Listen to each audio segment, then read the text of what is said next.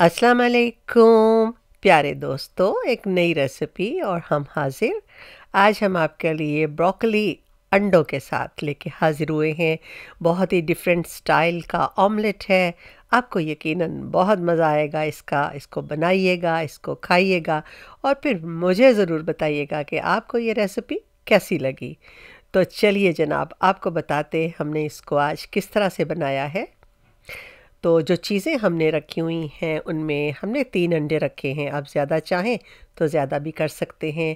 एक प्याज को बहुत बारीक काट लिया है। थोड़ी सी शिमला मिर्च को लाल कलर की, उसको भी बारीक बारीक काटा है। टमाटर हैं, सेलरी है और थोड़ी सी पालक के पत्ते भी इसमें शामिल करेंगे।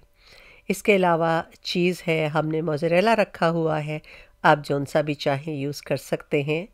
फुल क्रीम डालेंगे इसके अंदर और उसके साथ थोड़ी थोड़ी हरी मिर्चें भी हैं स्पाइस के लिए और ब्रोकली है। ब्रोकली को हमने काट के छोटे छोटे पीस करके हमने यहाँ पे रख दिया है। इसके ऊपर हमने उबलता हुआ पानी शामिल किया है। इसको हम उबाल नहीं रहे हैं, सिर्फ़ उबलता हुआ पानी डाला है और तकरीबन तीन चार मिनट के लिए इसको छोड़ देंगे। अंडों में हमने नमक और काली मिर्च डाली है इसको। अच्छे से फेंट लेते हैं। जैसा कि हमने कहा बाज़ात अंडे छोटे साइज़ में भी होते हैं, बड़े में भी।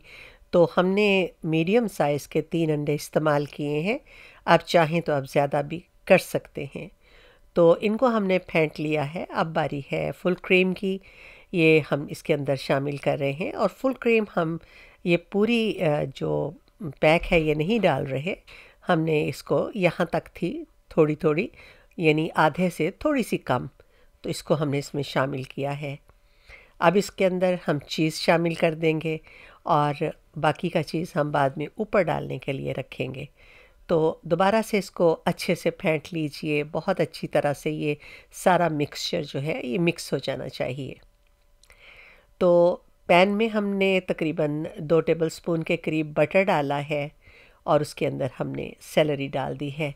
अगर कोई वेजिटेबल आपको पसंद नहीं हो आप इसको बिल्कुल स्किप कर सकते हैं सवाए ब्रोकली के क्योंकि ब्रोकली मेन इंग्रेडिएंट है। तो आ, बाकी जो शिमला मिर्च है वो भी हमने जायके के लिए भी और ख़ूबसूरती के लिए भी डाली है। सेलरी को हमने थोड़ा सा भून लेना है। एक दो मिनट तक फिर उसके अंदर हमने जो प्याज काट के रखे हुए थे, वो शामिल कर दिए हैं।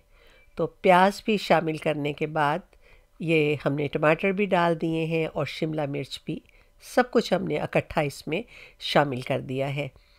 तो अगर आप चाहें तो आप इसके अंदर हरी प्याज भी शामिल कर सकते हैं।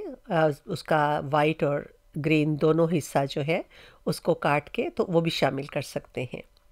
तो अब इसको हमने तकरीबन एक दो मिनट तक भूना है और भूनने के बाद पालक के पत्ते जो हैं, उनको बारीक बारीक काट के उनको भी इसमें शामिल कर दिया है। जैसे कि आप देख रहे हैं तो यहाँ पे इसको थोड़ी देर के लिए हम दम दे के पकाएँगे। इस तरह से जो पालक है, वो भी अच्छे से मैश हो जाएगी। तो अब इसको दोबारा से हम भून लेंगे। तो उससे पहले हरी मिर्च को बारीक कट के डाला है और बाकी के जो स्पाइसेस हैं, वो भी हम इसमें जो हमने डालने हैं, वो भी इसी वक्त में शामिल कर देंगे। तो सबसे पहले हम डालने जा रहे हैं जो मिक्स्ड हर्ब्स हैं, उनको शामिल किया है। अगर आपके पास मिक्स्ड हर्ब्स नहीं हैं तो आप इसको स्किप कर सकते हैं। आप पार्सले डाल सकते हैं। आप चाहें तो जो भी आपके पास चीज़ मैसर हो, आप अपने जायके के मुताबिक इसको बना सकते हैं। और अगर आपके पास औरिगानो है तो आप वो भी डाल सकते हैं। इसको अच्छे से भून के एक दो मिनट हमने प्लेट में निकाल लिया है। इसी पैन में ही हमने मज़ीद दोबारा से दो टेबल स्पून के करीब बटर डाला है और उसके अंदर हमने ब्रोकली शामिल कर दी है।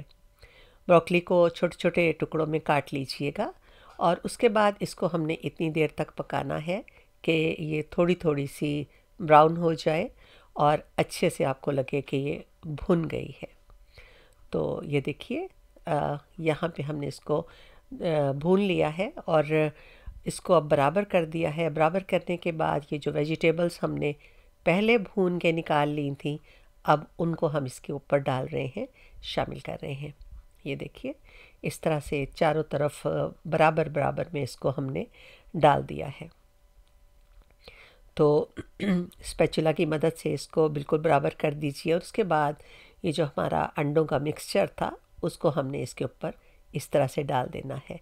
आ, याद रहे कि इस सारे प्रोसीजर में आपका जो आपकी जो चूल्हा है वो बिल्कुल लो पे रहे आपने इसको तेज़ नहीं करना और हल्की आँच पे इसको पकाना है आपने। तो ये हमने इसको दोबारा से जब ये डाल लिया है तो इसको थोड़ा बराबर किया है। अब इसको हम ढक के तकरीबन तीन चार मिनट तक पकाएँगे और उसके बाद आपको दिखाते हैं नेक्स्ट कि हमने क्या करना है। तो ये हमने ढक के रख दिया है, बिल्कुल हल्की आँच पे। तीन मिनट के बाद इसको हमने उठाया है और जो हमारा बाकी का चीज़ था, उसको भी हम इसके ऊपर अब शामिल कर देंगे। अब यहाँ पे आप इसको दोबारा से ढक के पकाएँगे तकरीबन तीन से चार मिनट तक, पाँच मिनट तक, जब तक आपको लगे कि जो चीज़ है वो भी मेल्ट हो गया है, सब कुछ अच्छे से पक गया है। अगर आपको इसकी ऊपरी सतह ब्राउन चाहिए तो आप इसको ओवन में भी रख सकते हैं, लेकिन हमने इसको नहीं रखा।